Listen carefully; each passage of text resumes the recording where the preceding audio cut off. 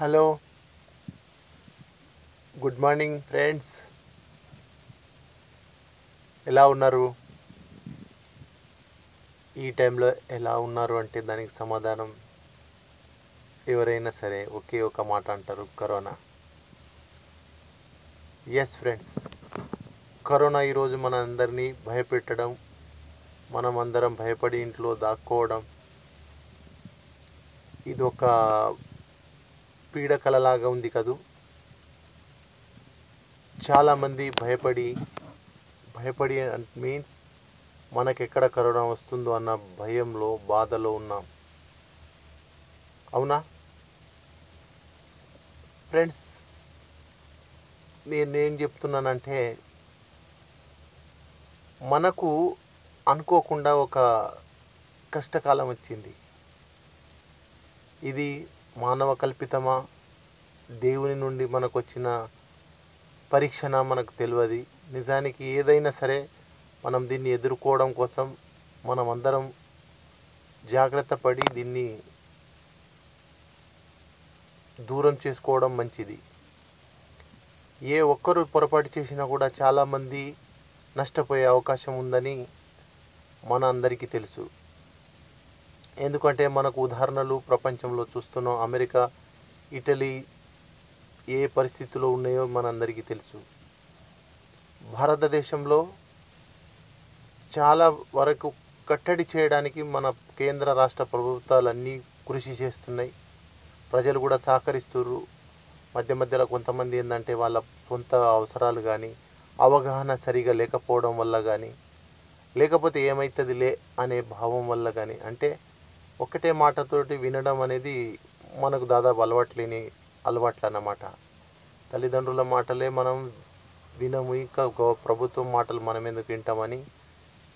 అలా కొంత ఉన్నది అందరు అలా లేరు. చాలామంది కట్టుదిట్టంగా ఉండడం వల్లనే ఇంత పెద్ద దేశము ఇంత తక్కువ నష్టాలతో ఈ రోజు వరకు మనం స్టాండ్గా ఉన్నాం. దీన్ని మనం అధిగమిస్తాం. ప్రపంచంలో మనము అన్ని దేశాల కంటే తక్కువ స్థాయిలో నష్టాన్ని చూసి మనం బయటపడడానికి అవకాశం ఉంది. భారత ప్రజలు చాలా గొప్పవాళ్ళు.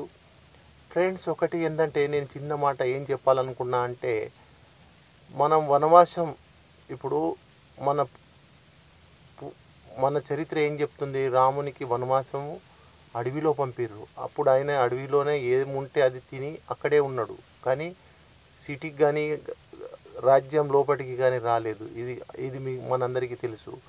అలాగే పాండవులు కూడా వనవాసానికి వెళ్ళిర్రు. వాళ్ళు అడవుల్లో చెట్లు ఆకులు అలములు తిండ్రు అట్టే ఉన్నారు కానీ సిటీలకు రాలేదు. అవునా? మనము అడవులకు వెళ్ళాల్సిన అవసరం లేదు ఫ్రెండ్స్. ఇంట్లో ఉండమంటారు ఇది వనవాసం అని ఎలా అంటాం? మనము మన ఇంట్లో ఉండడం ఇది వనవాసం లాగా కాదు. ఒక ఒక సహకారంలా ఒక మంచి అనుభూతిలా తీసుకోండి. ఎందుకంటే ఇంట్లోనే ఉండడం అనేది వాస్తవానికైతే మనం ఇంట్లో చాలా తక్కువ గడిపే వాళ్ళం. ఈరోజు పూర్తిగా ఇంట్లోనే భార్య పిల్లలతోటి తల్లిదండ్రులతోటి గడిపే అవకాశం వచ్చింది అనుకొని పాజిటివ్ తీసుకొని ఇంట్లోనే ఉండి సంతోషాన్ని నింపుకోండి. భయాన్ని నింపుకోవాల్సిన అవసరం లేదు. ఇంట్లో ఉంటే ఎలాంటి సమస్య రాదు రానే రాదు అని చెప్పి ప్రభుత్వాలు సైంటిస్టులు డాక్టర్లు మనకు చెప్తున్నారు మనం అందరం వింటున్నాం. ఇంకోటి మన అదృష్టం ఏంటిదంటే ఆల్రెడీ వ్యాక్సిన్ వచ్చేసినాయంట. అవి త్వరలో రాబోతున్నాయి. అంటే మన కష్టాలు తీరబోతున్నాయని మనకందరికీ తెలిసిపోయింది ఫ్రెండ్స్. వాస్తవానికి చైనా వాళ్ళ దగ్గర కూడా ఈ వ్యాక్సిన్స్ ఉన్నాయని అంటుర్రు. కానీ వాళ్ళు ముందుగా బయట పెట్టడం లేదు. పర్వాలేదు మనం సంతోషంగానే ఉన్నాం. సంతోషంగానే ఉంటాం. ఎవరు భయపడాల్సిన అవసరం లేదు. మార్చి పదిహేను కల్లా ఇదే లాస్ట్ లాక్డౌన్ మనది. మళ్ళీ ముందు ముందు ఉండబోదని చాలామంది మేధావులు చెప్తుర్రు. భయపడకుండా ధైర్యంగా ఉండి అందరూ ఇంట్లోనే ఉండి సంతోషాన్ని ఆనందాన్ని పొందండి. భయాన్ని పొందాల్సిన అవసరం లేనే లేదు. మిత్రులందరూ ఇంట్లో ఉండి ఈ యొక్క మహమ్మారిని తరిమి కొట్టడం వల్ల మన దేశానికి మంచి గుర్తింపు రావాలి. ప్రపంచం మొత్తం మన దేశం గురించే గొప్పగా చెప్పుకోవాలి. భారతీయులు కట్టుదిట్టంగా మాట మీద నిలబడతారు. రాముడు మాట మీద నిలబడ్డాడన్న పేరు ఉన్నదాన్ని మనం నిలబెట్టండి.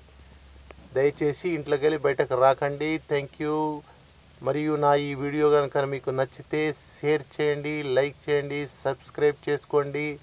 నచ్చకపోతే డిస్లైక్ చేయండి కామెంట్ పెట్టండి మీకు ఏమనిపిస్తే అది చేయండి. కానీ సబ్స్క్రైబ్ చేయడం మాత్రం మర్చిపోకండి. Thank you thank you